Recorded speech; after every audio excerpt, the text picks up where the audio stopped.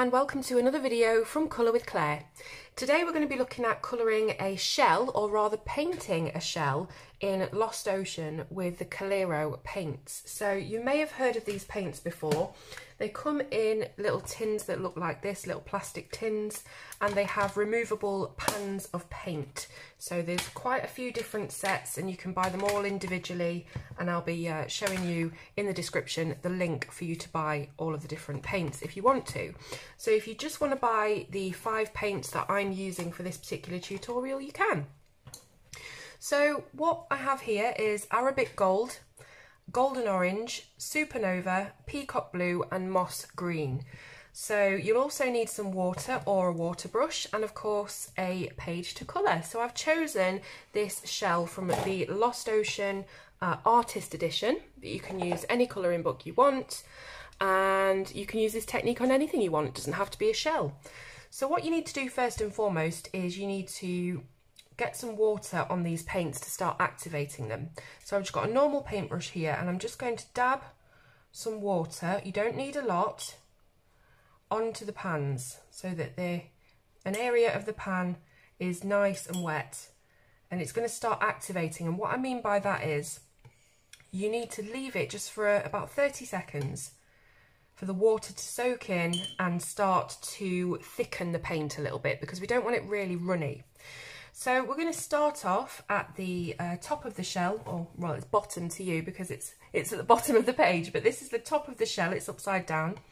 And now that we've let that soak in just a little bit, you can get your water brush or your paintbrush and just start to mix the colour around a little bit.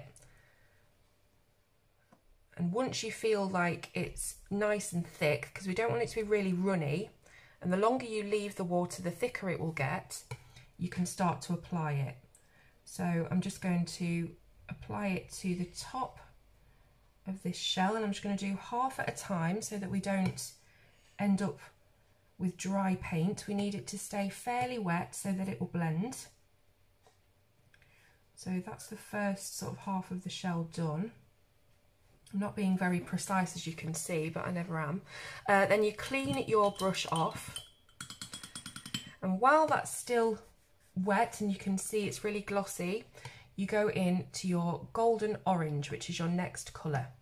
Do exactly the same thing, so give it a little bit of a mix first and you'll just feel by the consistency that it's thicker than, you know, really runny watercolour paint.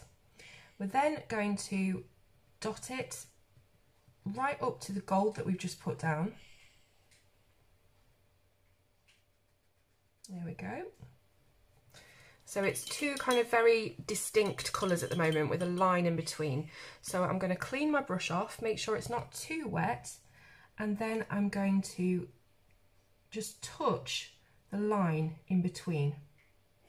So you can see I'm just touching some water to the line and that will automatically allow these colours to merge. You can sort of push the pigment a little bit if you want to encourage it along. So I'm just pushing the gold a little bit here. Now, it's very difficult to see the effect when they're still wet. So once this is all dry, you'll see exactly how beautiful it looks. But at the moment, it can look a little bit uh, murky, a little bit dark. So just let that dry for a moment. But while you're doing that, we want to keep on with the colours. So I've cleaned my brush off. I'm now going into the Supernova, which is one of the Galaxy colours from the per, uh, Coliro range. They're all really nice and pearlescent. So again, I'm going to go straight up to the golden orange. Now you may notice that you catch a little bit of the water that we just put down. Don't worry about that. It will all add to the effect.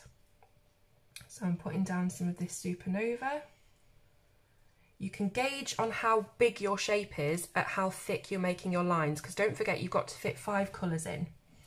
So I've put down a bit of that supernova. I'm cleaning off my brush, making sure it's not too wet. And then again, I'm just dotting at that line. And the water is what will make them all merge together. So next colour is the peacock blue. So just thickening that up and then adding it underneath the pink.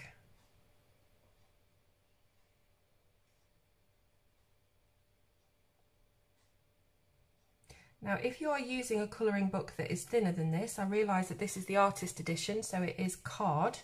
If you're using just a bog standard colouring book with normal paper, just try and thicken this a little bit more. So you can either use a bit less water in the first instance, or you can just kind of play around with it, mix it a little bit longer until it becomes a thicker consistency, okay? So you can use these paints on any thickness of paper. You just have to be a little bit more conservative with the amount of water you're using if it's a thinner stock. So I've cleaned the brush and I'm now going in with a fairly dry brush just to merge that line. Okay, so it's just to help it along a little bit. Now we move on to the last colour, which is the moss green. So exactly the same thing all the way. And then adding it in underneath the blue. This is already starting to merge because of the water that we've put down.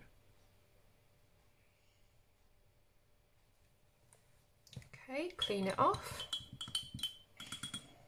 dry it off a little bit and just coax pigments together a little. So it's literally just a very light dabbing motion, just coaxing those pigments to blend together.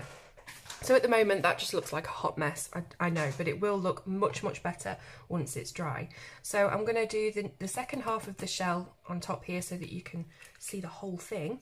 Uh, but it's best to work with small sections at a time because you don't want your paint to dry, obviously. Now by this time, the water that you put down initially onto these pans will probably have dried up a little bit. Now I'm using a water brush, so I'm squeezing a little bit more water out of here, but you may need to dot a little bit more water on. Just don't forget not to go too wet.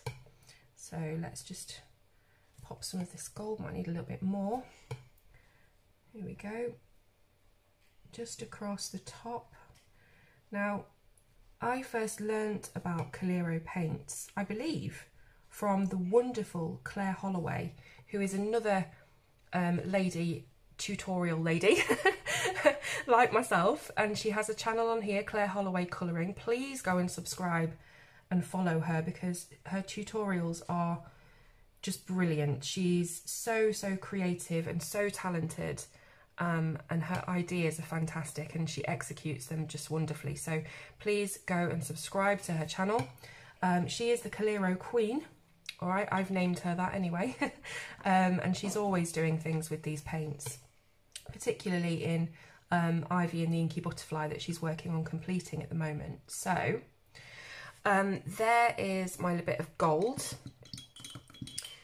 I can then go in with the golden orange. So again you may need to just add a bit more water because they do dry quite fast these pans and I guess that's a good thing because we don't want them to be all watery and soggy, do we? So, now usually I would keep these pans in their little plastic tins that I showed you earlier because then they wouldn't wobble around like they are doing. But I've just taken the five colours out just to show you. So there we are with the golden orange and again, just dab at that line with a clean semi-dry brush just to merge them a little. Clean it off and next colour.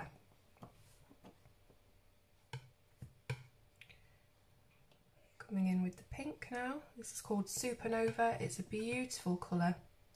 It's actually from the Galaxy set, which is this one here. And they have some stunning colours. We've got Sunbeam, Supernova, Deep Space, Dark Star, Meteor and Moonlight in that set. They're absolutely beautiful colours. Specifically the Meteor, I really like that. It's almost like having a piece of graphite. That's what it looks like to me anyway.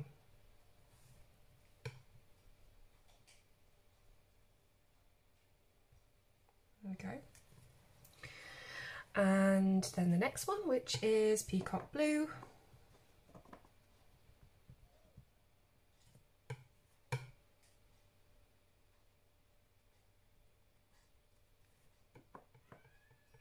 So these Coliro paints are absolutely fantastic. I don't know if you've worked with them before, but you've probably seen them around and about on the colouring groups. They are brilliant. They are absolutely packed with pigment, packed. I don't know whether the camera's showing up how shiny these are at this angle, but I will be showing you at the end. But you'll just see they have these really micro fine uh, mica or mica pigments in them.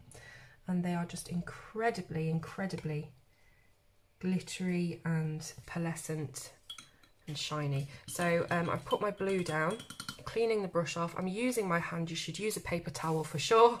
Um, using my hand just to dry it off before I dot against the line I think I'm doing a better job with this side of the shell than I did on that side. I think he may have used slightly too much water. It's a little bit aqua happy on that side. So cleaning it off and then finally with the moss green. Now, if you already have some Coliro paints and you don't have these specific colours, but you have something close, go ahead and try it because it'll all work, um, you know, pretty much exactly the same. They all blend beautifully. Um, so if you've got a different green or a different blue, you can definitely try this technique. It doesn't have to be these exact shades that I've chosen. I just thought they went pretty well together. In fact, if it was up to me, I probably would have chosen a lighter green, more of a limey green, um, but I don't have that in my set. So just make do with what you have if you do have the paints. And if not, as I've mentioned, you can always get them individually. So there we go. I think that's pretty much done for that side. Now, obviously, you guys are going to be much neater than me because look, I've, I've really gone out of the lines everywhere up here, but that's fine. It's demo purposes. That's what I'm telling myself and I'm sticking to it. So what I'm going to do is I'm going to put a line of gold here and then start the process again. Now I am doing this in real time, so if you're getting bored, just skip to the end. Um, I just thought it might be nice for you to have a little look in real time and me to have a little chat with you guys. I've not been doing any live streams lately. Um, to be honest, I'm never really comfortable with live streams, um, you know, with my anxiety and, and things like that. Um, and speaking kind of off the cuff where I can't edit it if I go wrong. Um, so I've not been doing too many live streams, but I think my kind of niche is doing the recorded videos. Uh, there are so many brilliant live streamers out there and they do what they do fantastically well and it's just not really my forte. Um, not to say that I won't do any again in the future, uh, but I definitely prefer doing these kind of pre-recorded videos so that I'm totally happy with what I'm putting out and I don't um, get a massive brain fart and mess up. So again with the pink I was actually going to do this as one of my um, non-voiced videos where I'll just put some music over it and some instructions on screen but I've had a lot of feedback from people saying that whilst those videos are okay they prefer me to talk. So so uh, yes that's what I'm doing and hopefully I'm not boring you.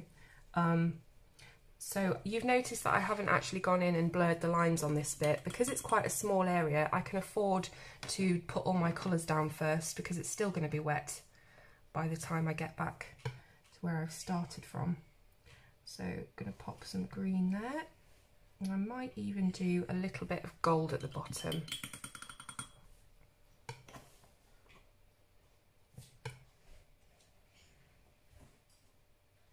There we go. So you can do these kind of in any order that you want um, or with any colours that you want, as I say. It doesn't have to be exactly how I've done it. So I'm just using a fairly dry brush, again, just to mess about with these colours, just touch at the lines and let them sort of do their thing. They'll flow on their own, you know, as soon as you touch some water into it, like you just saw then, that gold has just gone all the way up, almost into the pink that's fine. We can have it really sort of um, organic and, you know, flowy looking. That's totally cool with me.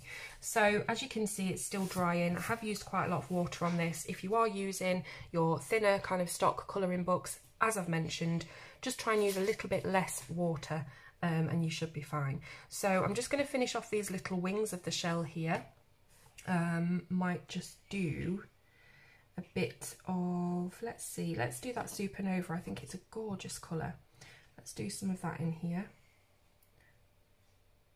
And maybe a little bit of the gold or the orange just on the very tips.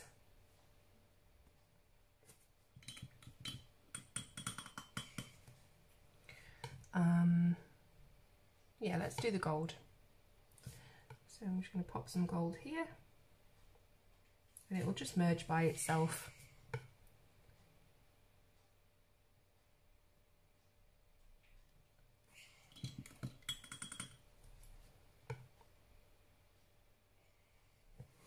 So, you know, it's not a neat and tidy process, you know, it's, it involves a lot of water and a lot of um, sort of merging of colours and it could go either way. It could, you know, the colours could all merge together and look really muddy. But I think as long as you try and keep um, the colours fairly solid, um, but just touch up that line in between, you'll be fine. I think this area, um, I've probably used a little bit too much water and they've flown a little bit here, there and everywhere, but I'm not bothered, it's fine. so what I would probably do with this is outline it in black once it's dry just to contain it and give it that neater edge. Um, but I'm going to come back to you in just a few minutes when it's dried up and we'll see the finished result. Okay, so it's now fully dry and uh, as you can see, I've had a little bit of a mishap here. As soon as I turned off the camera to wait for it to dry, I ended up pulling this tray across my page like an absolute idiot and having a kind of no kind of slow-mo moment where it all um, just went all over the page basically. So I've managed to save it just by dotting on a little bit more colour here and there, you know, where it got scraped off. So, you know, that's just the kind of thing I'd do. It's just my look. But here we are. It is dry. Let's have a look in the light so you can see better this beautiful kind of oil slick iridescence. So hopefully the camera's picking it up just how it looks like the inside of a shell when you tilt it to the light. Now, as I've said, Claire Holloway is the absolute master with these paints. She is the Coliro queen. Um, so if you want to find out how to blend them to a much better standard than this, please do go over to her channel. I've had another go up here just while I was waiting. So this one's still drying at the moment. I think it's going to turn out quite nice. But uh, as you can see, the bits of it that are dry, again, beautiful beautiful look. And I do think it does look very iridescent and you know something to try anyway. It's a good experiment it's a good little experimental uh, test with these paints if you've got them and you haven't used them yet. So give it a go. And uh, please let me know in the comments whether you've tried this. Tag me in photos here there and everywhere Instagram Facebook if you want me to see what you've done. I would love to see it. Um, and yes thank you so so much for watching and I'll see you soon on Colour with Claire